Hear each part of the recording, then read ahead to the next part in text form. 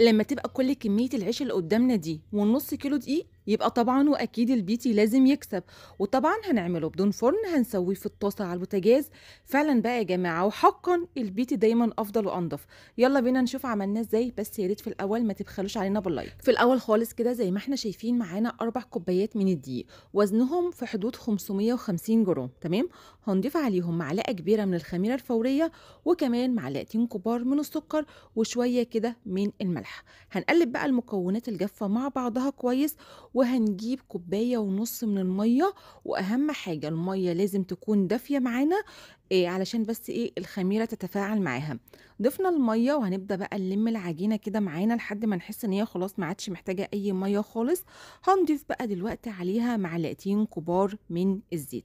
وبعد كده هنبدأ برضو نلم العجينة كمان شوية وهناخدها بقى على الرخامة ونفضل نعجن فيها كده إيه حوالي خمس دقايق لحد ما بتجيلي كده عجينة طرية مش بتلزق في الإيد. هنفضل بس نعجن فيها ما بتاخدش أي وقت خالص يعني يا دوبك كده بتلميها شوية وكده خلاص العجينة بتبقى جاهزة معانا. ما شاء الله زي ما أنتم شايفين العجينة طرية جدا ومش بتلزق في إيدينا. هنجيب بقى بولة نحط فيها أو هندهنها في الأول كده بدهنة خفيفة خالص من الزيت وهنحط العجينة وندهن كمان العجينة بشوية من الزيت وهنغطي عليها ونسيبها بقى تتخمر معانا كده لحد ما بيتضاعف معانا حجمها. في الوقت ده كده طلعت كده قطعة من الكبدة وطبعا الكبدة مطلعاها من الفريزر ما خليتهاش تفك معايا قوي علشان أعرف أقطعها. والكبدة دي في حدود نص كيلو تمام؟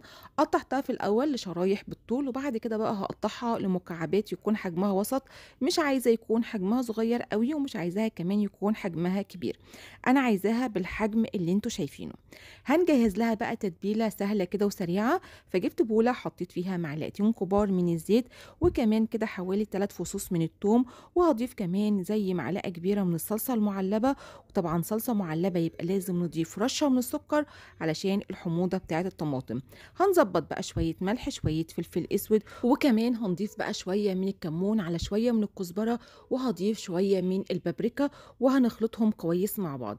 هنجيب بقى الكبدة ونبدأ نحطها مع التتبيلة الحلوة دي ونبدأ كده بمعلقتين نبدأ نقلب الكبدة مع التتبيلة بحيث إن الكبدة تتشرب من التتبيلة.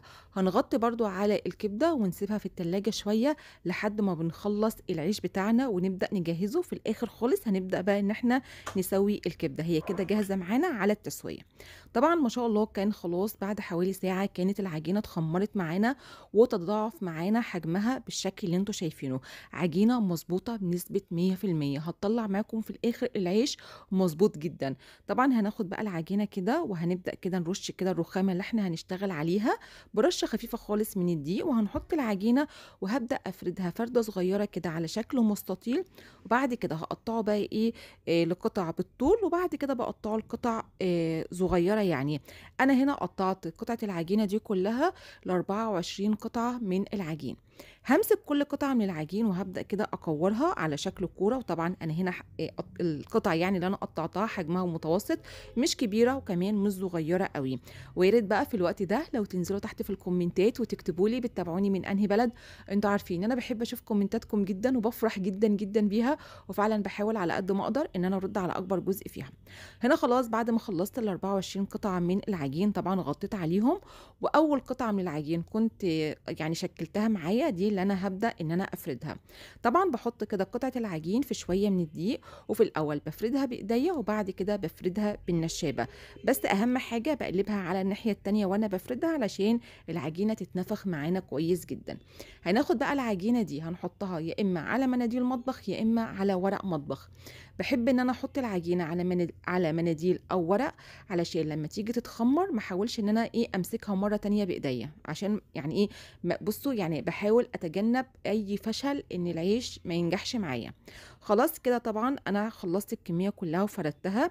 أهم حاجة لازم نسيب العجينة تتخمر معانا مرة تانية. يعني بعد ما بنخلص فرد كل كمية العيش بنغطي بقى على العيش كده ونسيبه يتخمر معانا مرة تانية حوالي ساعة لحد ما حجمه يتضاعف معانا بالشكل اللي أنتوا شايفينه. دي كمان خطوة مهمة جدا لنجاح العيش معانا. تعالوا بقى أقول لكم هنسويه إزاي. طبعا إحنا هنسويه في الطاسة على البوتاجاز بدون فرن خالص وإن شاء الله العيش كله من أوله لآخره هيتنفخ معانا كله. طبعا لازم الطاسة تكون سخنة جدا قبل ما بنيجي نحط العيش فيها والنار بتكون وسط.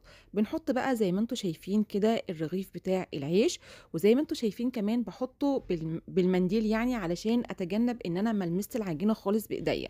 تعالوا كده هقول لكم بنعمل إيه. آه طبعا ده الرغيف الأول هشرح لكم تاني على الرغيف التاني. تمام؟ اهو زي ما أنتم شايفين بحط كده ال- العيش ويا دوبك ثواني بنلاقيه ان هو بدأ يتنفخ معانا بالشكل ده. بنحط عليه بس المعلقة آه على العيش بشكل يعني إيه خفيف علشان نضمن ان هو يتنفخ معانا بقية العجينة. على طول بنقلبه على الناحية التانية وزي ما أنتم شايفين بنلاقيه كمان اتنفخ معانا جدا على الناحية التانية. طبعا كل الكمية دي ما بتاخدش في التسوية أي وقت نهائي في دقايق بتكوني مخلصاها. حتى لو انت عاملة آه، 10 كيلو من الدقيق بتخلصيهم في منتهى السهولة. تعالوا بقى نسوي الكبدة بنجيب صينية على النار نحط فيها شوية من الزيت عليها كده معلقة صغيرة من اللي هي الضاني بتفرق جدا جدا جدا في الطعم وفي الريحة. هقلبها كده شوية وبعد كده بقى طبعا جبنا الكبدة بعد ما اتبلت معانا شوية. وهنا بقى النار لازم تكون عالية معانا جدا علشان الكبدة ما تنزلش المية بتاعتها وتنشف معانا. طبعا حطينا الكبدة على نار عالية هنسيبها كده لحد ما تبدأ تاخد لون من تحت. وأول لما تاخد لون من تحت على طول بنقلبها على الناحية التانية. خلاص كده هنضيف دلوقتي شوية إضافات صغيرة خالص لأن أنا بحب الكبدة دي ما أضيفش عليها يعني حاجات كتيرة. فكل اللي هنضيفه آه، فلفل أحمر حراق متقطع لقطع صغيرة وهضيف كمان فلفل أخضر متقطع لقطع صغيرة. هنديهم كده تقليبة مع بعض ويا دوبك 3 4 دقايق على النار وهنطفي على طول على الكبدة.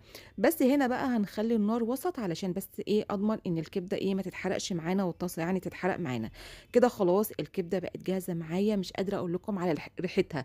بجد اللي هي الضاني بتفرق جدا في ريحة ال- الكبدة.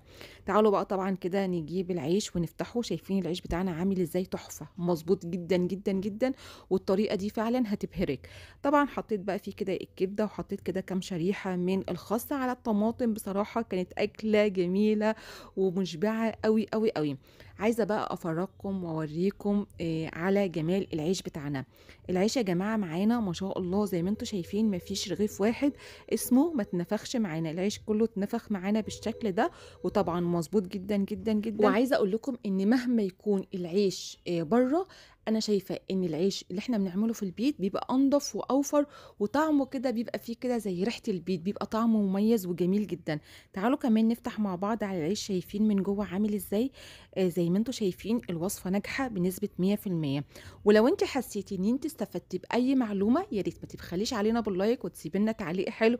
وعايزة بقى الكومنتات كلها يا جماعة مفيش فيها غير تسلم إيدك يا أم ليلي. like بقى لو عجبكم الفيديو وربنا يحسن ما بين إيديكم وبألف هنا وشفا. وكل سنة طبعا وأنتم طيبين وتتعاد علينا وعليكم الأيام بكل خير.